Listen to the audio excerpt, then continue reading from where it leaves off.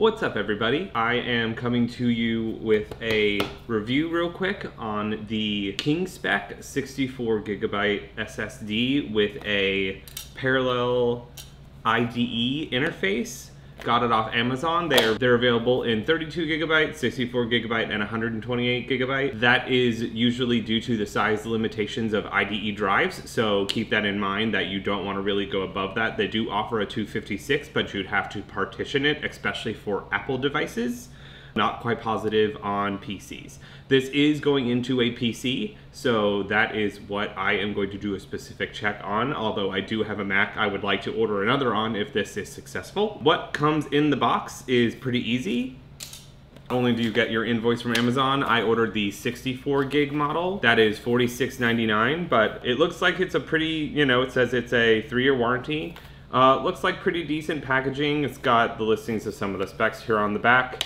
We're just gonna unbox it real quick and uh, see what we got. Uh, guess it is a box within a box. It has a little window that basically doesn't show anything, but pretty pretty nice looking for 50 bucks. Inside you have the SSD itself and it looks like there is a ribbon cable in case you have a machine that uses a laptop parallel ATA but requires it. I, for my case, will not. Also comes with mounting screws which I will need. And then also has the drive itself. So let's pop it open and take a quick look at it. Looks like it's got some either Chinese or Japanese writing on it. Says it is a two and a half inch PATA for parallel ATA drive. Back it's got barcode and serial information. Says it's a parallel ATA 64 gig and got the parallel ATA laptop IDE interface that you would need to put this in an older computer and came with the invoice, which of course reflects the price I paid, and it was shipped from Amazon. This one happens to come from Memory C Inc. in Texas. And that is pretty much all there really is to the drive itself. So what I'm going to do real quick is mount it into the drive sled for the computer I need it for, and then plug it in and see if it works. The reason I ordered this after actually having a compact flash to PATA interface is because the compacts I buy, or I happen to have that are very old, do not seem to boot, they just hang on the BIOS screen. So I'm hoping that this being an integrated unit and functioning more like a regular drive will actually work better. So that is what we will be doing now. So I'm going to whoosh my laptop out of the way since I no longer need it for the information. And then out comes the computer in question I will be using. This is a Compaq Presario 1400 XL. Uh, I think it's a 244 model, and what you have to do to get to these is take off the side panel that is decorative that you see on this side to access the drive bay. And it has a drive sled, which is what I will now mount this drive in. So we'll probably just snap cut to that.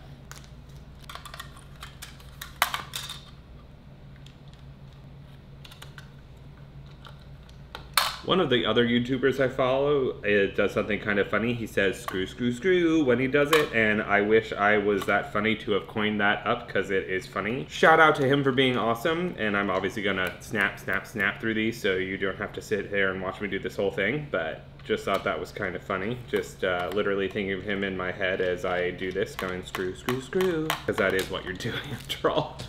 So drive is now in the sled. It fits very well in a laptop sled if you need one that has side mounts. It also did have the appropriate smaller side holes for mounting it in a sled that holds it that way. From there, we're just gonna go ahead and pop it in and see how she fits. Shouldn't be an issue, but we'll see had the secure lock in it, so that's a good good sign. Go ahead and pop the side panel back on my laptop here. Like I said, these are usually meant to update a vintage computer. This is a computer from the 2000s. Shortly thereafter, the SATA interface was brought in in some time, so a lot of newer computers, even a couple years after this, will have a SATA interface and not IDE. But anything pre-2000s is solidly going to, especially for a laptop, be a parallel ATA, PATA interface. Uh, the main advantage, because obviously an SSD is way faster than the 100 interface that you would have in this computer, is that it doesn't make noise and you're going to get the absolute maximum speed you can from this. Since I want to make this a vintage gaming laptop, this will be very good use case for this drive. It will be quick, it will be noise free, and in theory, because it doesn't have any moving parts, will be less failure prone, which on an old computer, you want more of. So I'm gonna now plug this in and pop in a Windows CD and hope that it acknowledges the drive and everything installs well. All right. So I've now got it powered and the computer is booting. I'm going to pop out the CD drive and go ahead and install a Windows CD.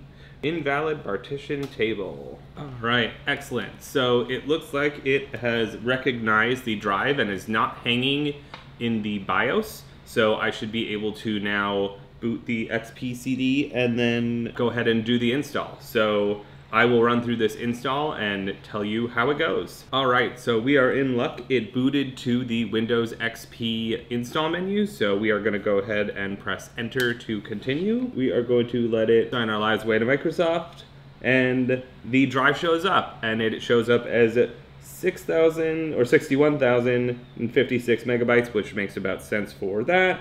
So we're gonna go ahead and use that little guy to have as a partition and we are going to do it with NTFS quick because why not make it faster? And then we are going to let the computer set up and install everything, and then we will get the results when we get back to booting Windows XP. Here's hoping it works great. This is already solving my problem because the CF2 IDE, PATA IDE adapter I had did not work on Compaq specifically. I experienced it on this Compaq Presario 1400 and a Compaq Presario 5400, which was made at about the same time, where they have a very basic BIOS and it likes to just hang with a CF inserted into the IDE to CF adapter. So these drives with the head already built into the SSD interface seem to work a lot better. So here's hoping we'll let this install and uh, with a wave of magic, we will have the uh, XP in and running and I'll give you the review of how it runs. All right, we are back after the install on the laptop I've got here with the 64 gig IDE or parallel ATA IDE to SSD, basically serial ATA drive interface. And that is by KingSpec again and uh, looks like we've got success. I've got a fully operating version of Windows XP installed on this computer. It is dead silent. It responds super quick despite being a computer from the 2000s, which usually has a great drive delay. And I am now going to order more of these because I have a couple of different computers that I could actually use these in. Something like a original PowerBook G3, an iBook G3, any pre-2000s laptop probably is going to have a parallel ATA interface that you can get with this. So I'm probably going to stick with the 64s the 128s are only a couple bucks more. If you only want a 32 and you want to save some money, you can get that and save a couple bucks as well. I thought this was the best value. It was only 48 bucks, and for how much of a speed improvement it does, the fact that it's literally silent when you do things, I, am all in. I'm super happy with it. It's recognized by Windows XP, and I couldn't be happier with it.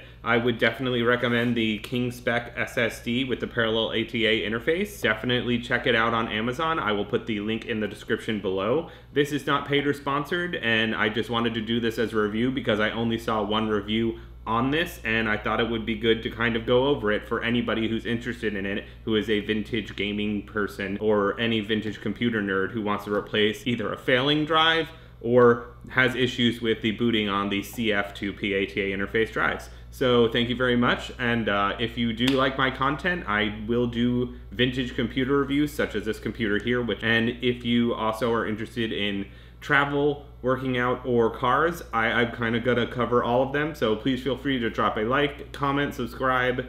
I would be forever grateful. Thank you again, and I hope this helps.